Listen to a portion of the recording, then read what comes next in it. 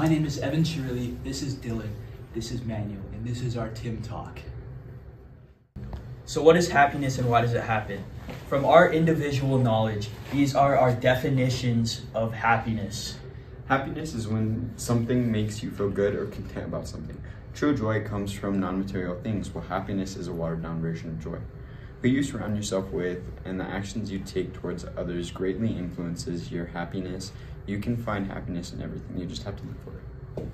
Happiness is a human emotion usually triggered by an event that it produces chemicals in the brain that make you happy. There's an objective feeling of happiness for everyone. It is when chemicals happen in your brain and, well, makes you feel happy.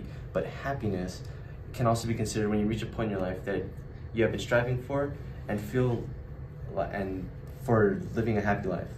And my thoughts haven't really changed since learning more about happiness, but more about what it is to be happy. Happiness is the chemical response in the brain when something good happens. The body releases a chemical called dopamine into the brain, which causes happiness. It can either be long term or short lived. To understand why happiness happens, let us dive deeper into the science of this emotion. Let's have my good boy Dylan demonstrate it.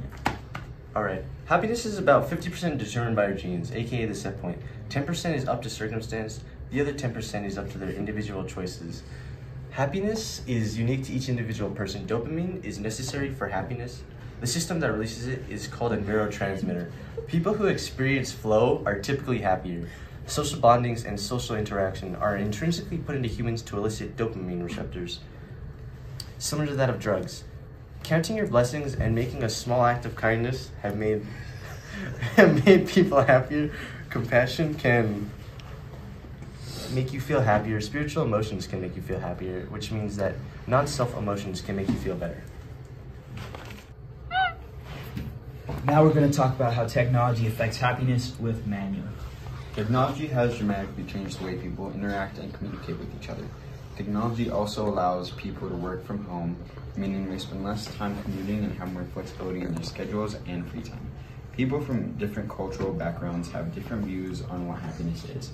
People in Western cultures tend to value individual, individually oriented and value individual achievements.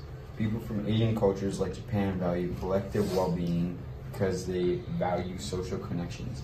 Social ties help provide individuals with a sense of belonging and connection, which is essential for contentment and fulfillment.